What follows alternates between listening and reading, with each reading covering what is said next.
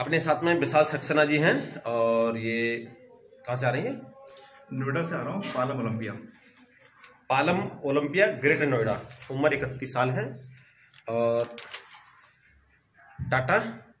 हाँ टीसीएस में काम करता हूँ। टीसीएस में काम करते हैं और उसके टीम लीडर हैं। और इनको लोअर बैक पेन था बेहतरीन व्यक्ति हैं।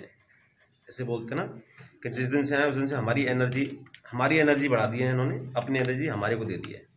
बहुत ही शानदार। सीवियर लो बैक पेन था और चलने में तकलीफ़ थी और जब आए थे तो माइनर बहुत माइनर स्लिप डिस्क थी। तो अलग चीज़ होती है। लेकिन आए थे तो स्थिति कुछ और थी।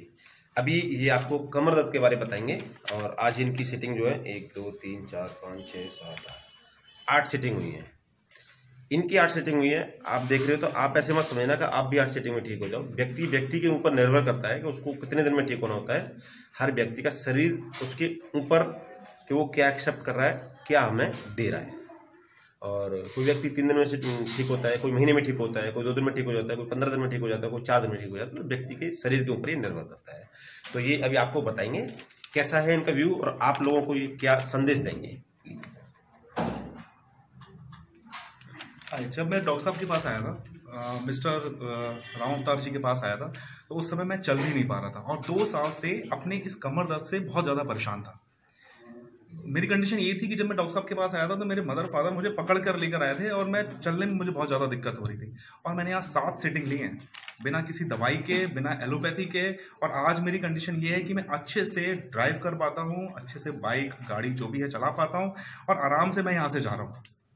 बहुत ज़्यादा मतलब थैंकफुल हूँ कि without any medicine without any allopathy मेरी आज ये कंडीशन है कि मैं यहाँ पर ठीक से बैठ रहा हूँ और मेरी कंडीशंस बहुत अच्छी है। मतलब देखा जाए मैं बिल्कुल पूरी तरीके से झुक सकता हूँ।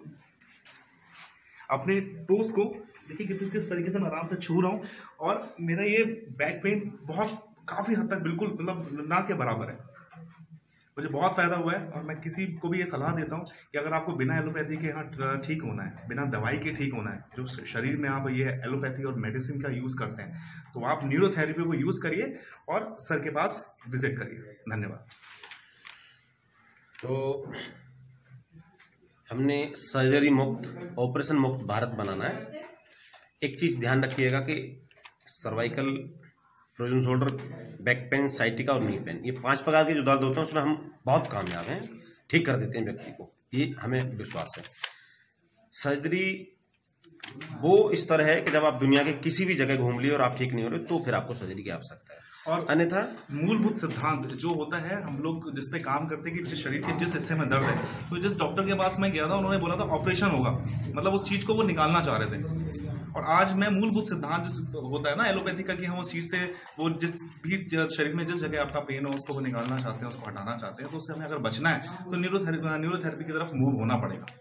और वो यही थेरेपी है विदाउट एनी मेडिसिन आप इसको यूज़ कर सकते हैं।